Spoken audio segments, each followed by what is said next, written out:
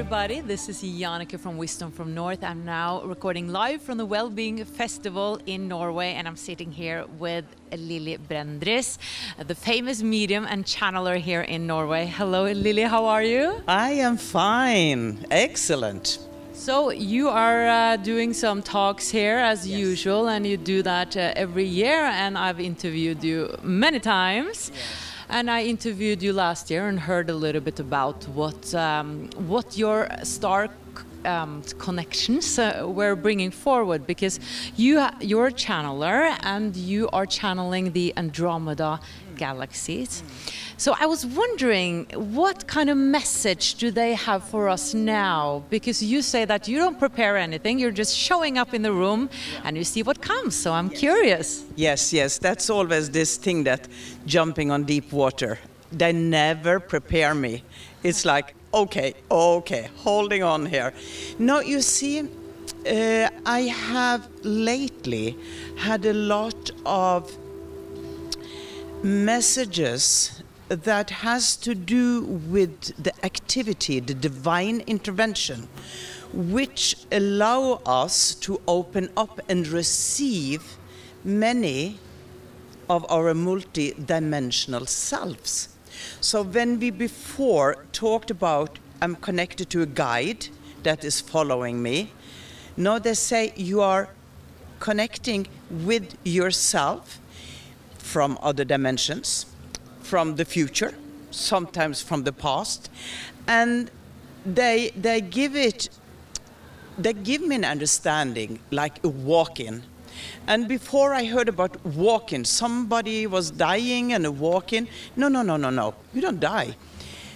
But you, when when you have a contract that I'm going to be born, being a baby, um, youth, growing up, I have my karma, I'm dealing with that.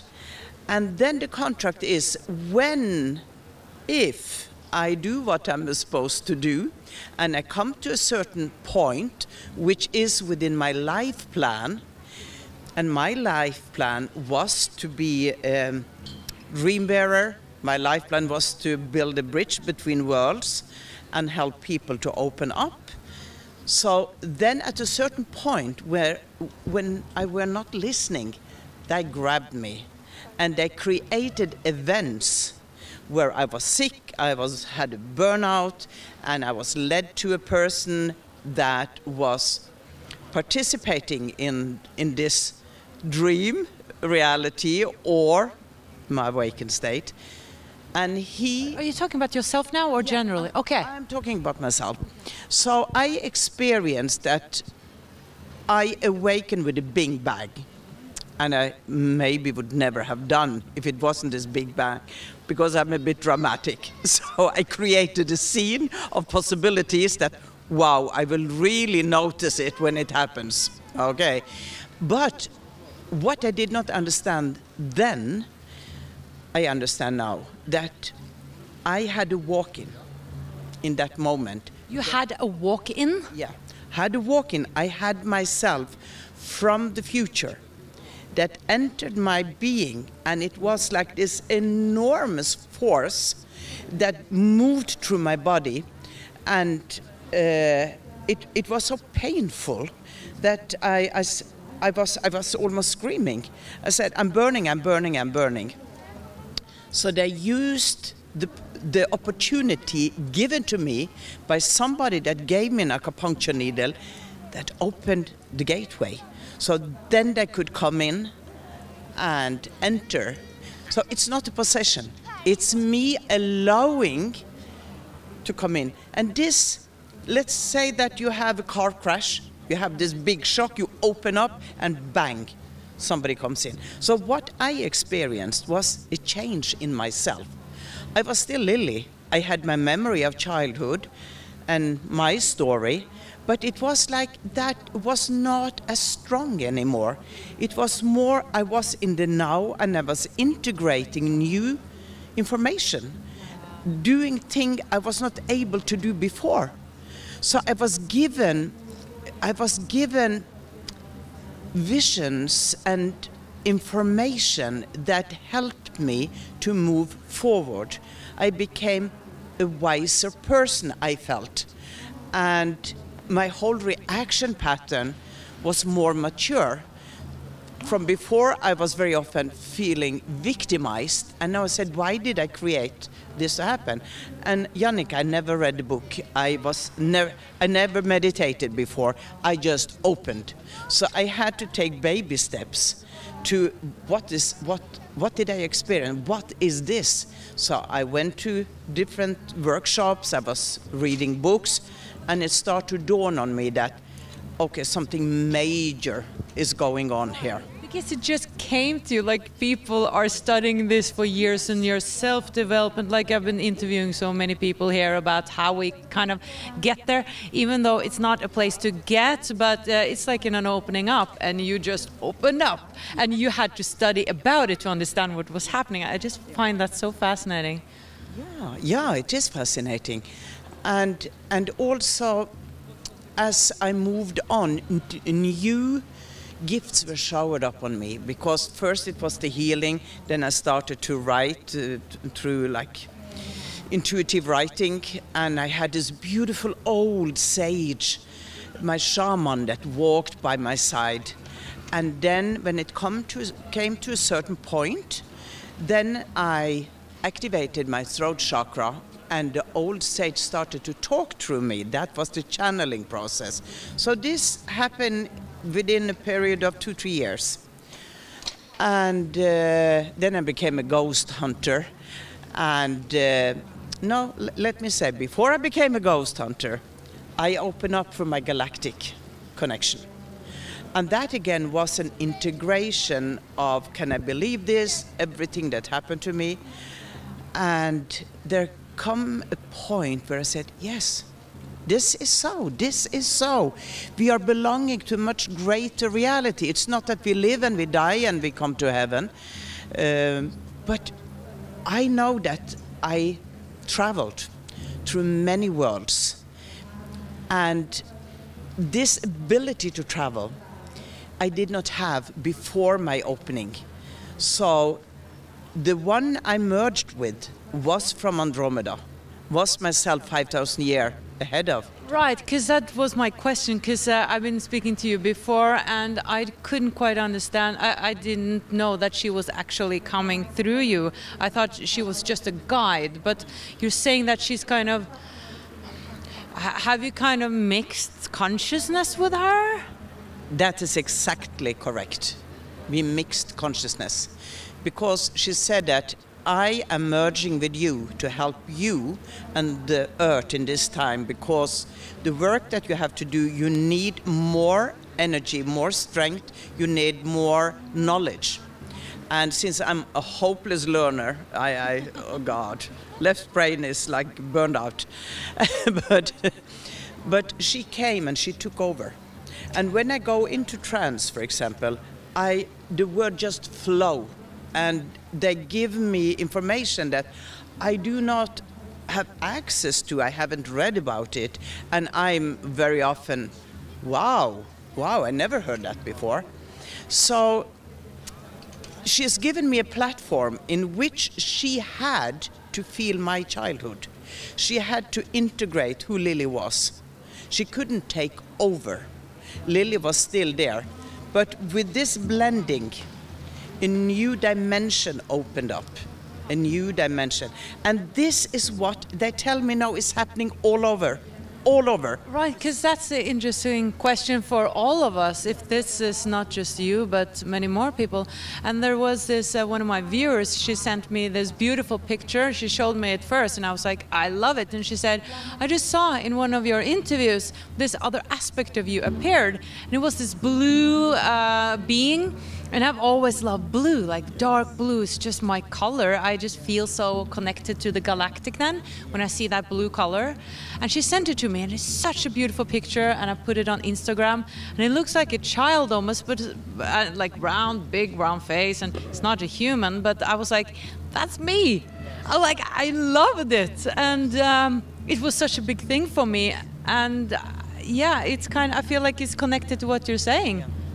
Yeah we. Uh, they say you need it now. You need that help, but it cannot be done if you do not have a certain frequency activated. So that is why they're talking about raise your frequency, meditate, move into the pattern which is necessary for us to merge. It's like wheel within wheels, and when this wheel have a certain rhythm, wow, it interlocks. It interlocks. So, not uh, and when I talk about frequency, it's not that you have to be as good as an angel. No, you have all your fault and you are who you are. But I, I experience in the room when I have my channelings, something happen in the room. And people come to me afterward and they say, my heart start to beat. I feel like electrical force going through my body. I have tears in my eyes. I'm touched by something. Yes, because it is like when you have reached a certain frequency, you act as a virus. And when I connect Act as virus, Oh. a virus it gets out there. And because what happened then, I'm, I'm mostly Lilli. I connect through heightening my frequency, and Amusar, or there are others. But let's talk about her, not make it confusing here. Then she enters me more fully. And she becomes more or less me. Lilli move aside, and it is her energy, her words, and they are so powerful. They're so vibrant, and I feel such love when she come and enter me.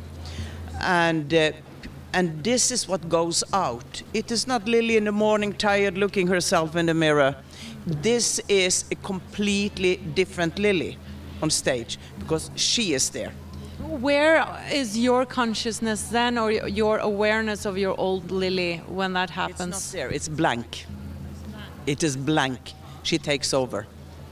Do you remember what she's saying? Are, are you somewhat I aware? remember. I am partly awake, so I remember. Thank God. I think I am a little afraid to lose control.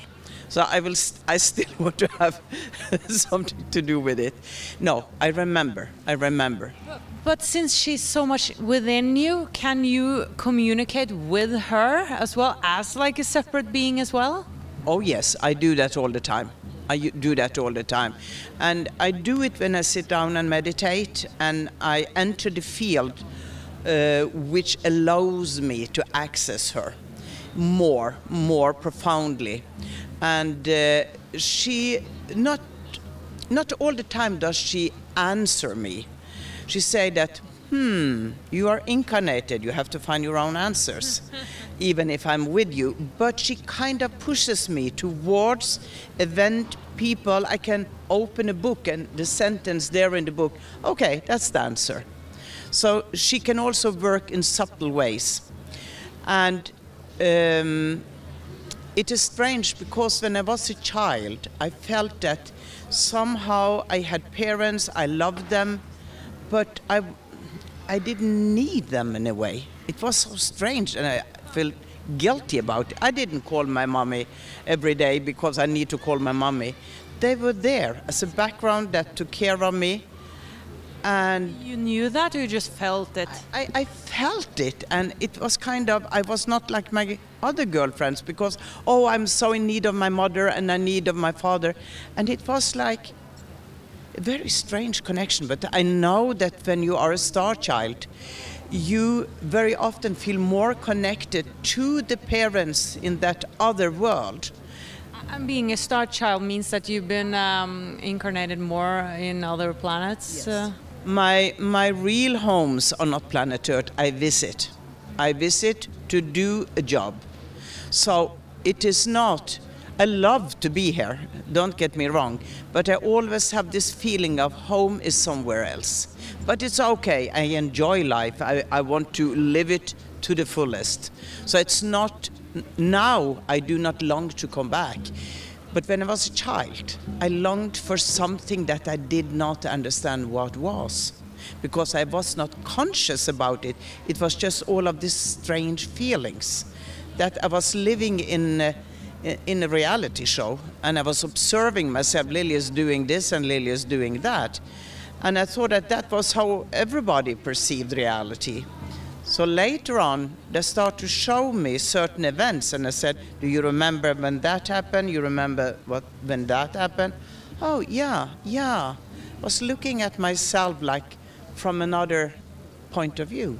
I think many of us have actually had some experiences when we were young, but we don't remember it. Um, and I'm wondering about that, why we don't get that information, why it's like in our subconsciousness, uh, why they don't want us to know. But uh, as you and I have been talking about, there are many species out there uh, who have different agendas. and your guys uh, seem to be more of the high vibration type.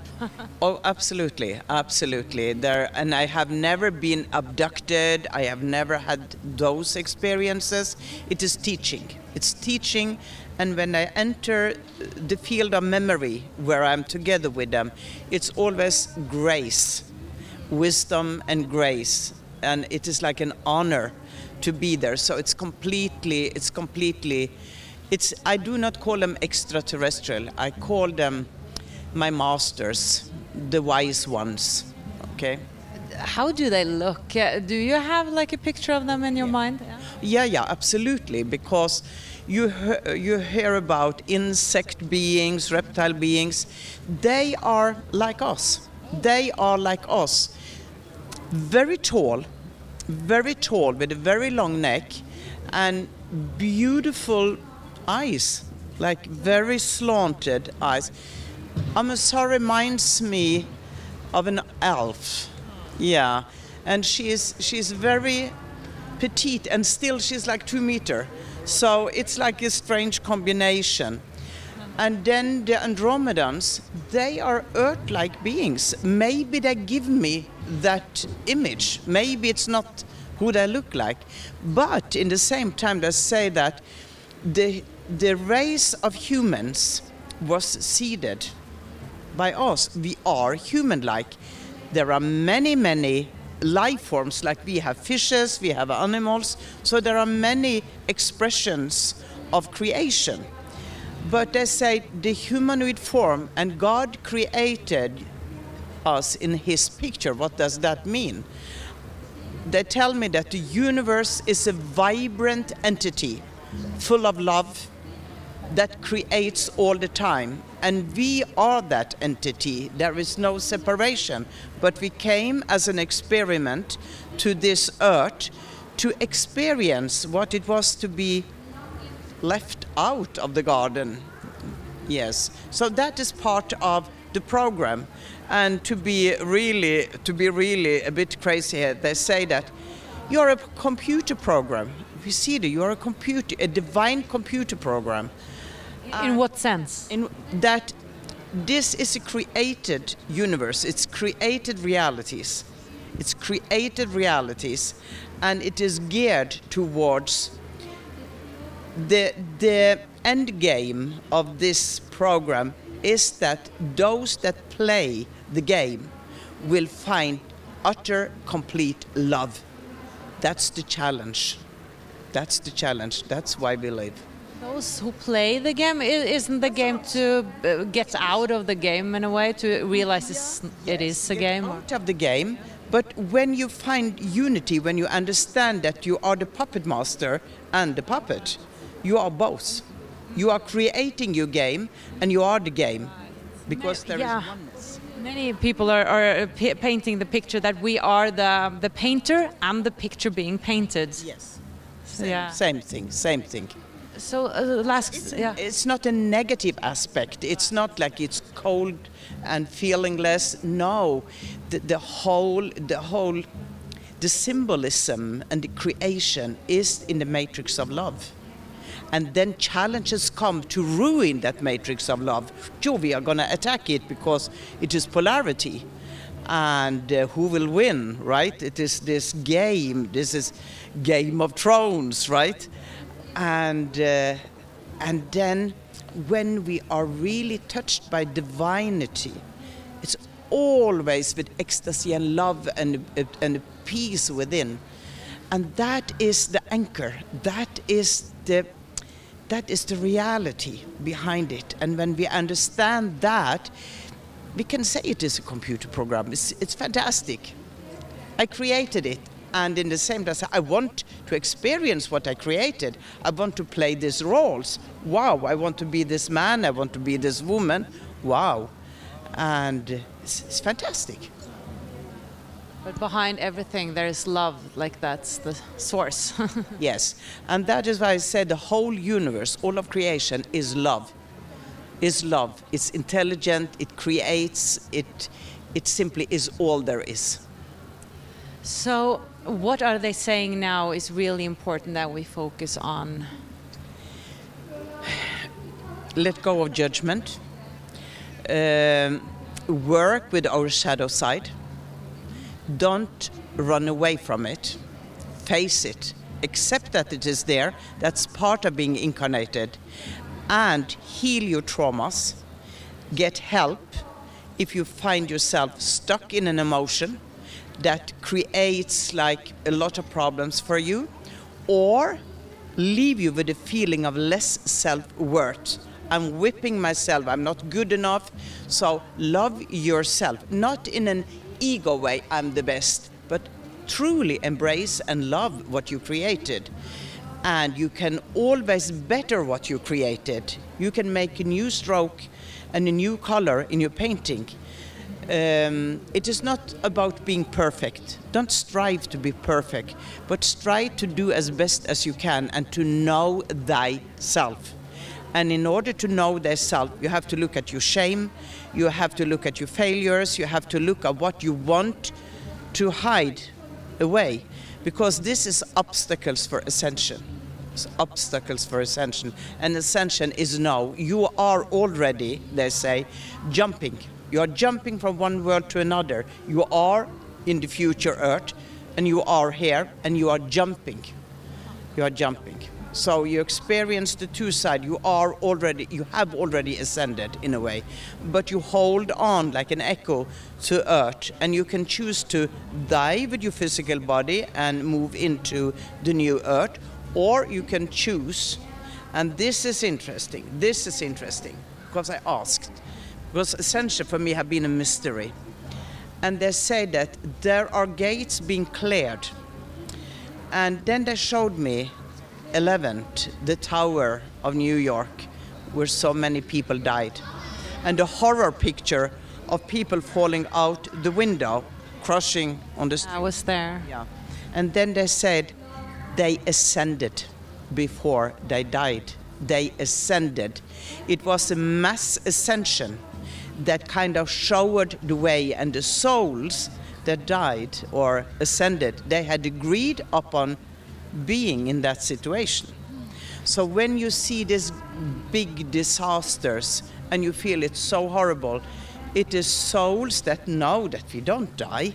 We simply ascend, we find a way. And when it is, and when it also affects so many people, that grief that opens their heart, it becomes a mass ascension even from away from the 3,000 that died there. And it, it is like waves upon waves that affects us and open our hearts. And they, they have showing us the way. They're showing us the way. And oh, i should have been talking for three hours but there are so much. But let's let's put the basic here. And that is to prepare ourselves. And you cannot neglect who you are you cannot neglect and lie to yourself any longer. You have to be the observer, like the puppet master. You have to see yourself and you have to embrace what you have created. And when you see, I have done this mistake again and again and again, don't judge yourself. Yes, you did it. But try to change so you don't continue create the same mistakes because you feel that was a mistake. Of course, it's nothing right or wrong. But in your consciousness as a human, you will judge it as wrong. It created more heart pain for me that I did this. Okay. Because the end result is that that heartache, that pain, made you grow because that's the choice. If you take the choice, what did I learn from it? And you learn empathy because you are not above pain and I can understand other people's pain. I can move into that pain and I can help heal pain for other people because I have the recipe of how to heal it, how to work with it. And the beings that I'm connected with, they say, We have the blueprint, we got it. We have been where you are, we made it as you will make it, but you have to do it yourself. That's a paradox of time. Yes, that's a paradox. But then again, they say there is divine intervention. There is divine intervention. They don't quite explain what it is. You're actually saying the same thing that uh, Neale Donald Walsch, I just interviewed him. He's written his fourth book now, and it's called Awaken the Species. And there, it's about uh, learning and being being inspired by uh, what he called highly evolved beings like HEBs and that's the extraterrestrials or intraterrestrials or what do you want Yes. to call it. Yes. So he's speaking about the same, uh, and I believe that it's um, we yeah we can be inspired, and if we just open up to uh, that that kind of consciousness. Um, and I want to mention also that what you said about the twin towers, because I interviewed uh, a woman called Bonnie McEneaney, I think she was called, and she wrote a book about a lot of people who died uh, in the towers, and uh, 200 people she interviewed, and uh, the family members and friends of those who have died, they reported that those who died, they it seemed like they knew they were going to die. Like they were talking about that. No, I won't go in that wedding because I won't be here, or you know, I, I want to live through Christmas. Like there were so many people knowing they just knew they wouldn't be here, like past September, and I just that um, yeah touched my heart when you were speaking about that. And you know, my son was there 14 days before. And uh, he took a choice when he was younger because if he had taken that job for this English company, he would have been in the tower. And he said no to that job and moved back to Norway. And uh, I had this dream about the 11th of September, didn't understand what I was dreaming about. Before? Yeah, yeah, yeah, yeah. Many years before. But I did not, even when that it happened, I did not connect it. I did not connect it. I did it many years later, but let's take that another time. I think we have, have used our time. Yes, I think so too. But thank you so much. Thank you for your wisdom and for sharing it. Thank you. Thank you for inviting me. Thank you so much for watching Much Light from the Wellbeing Festival.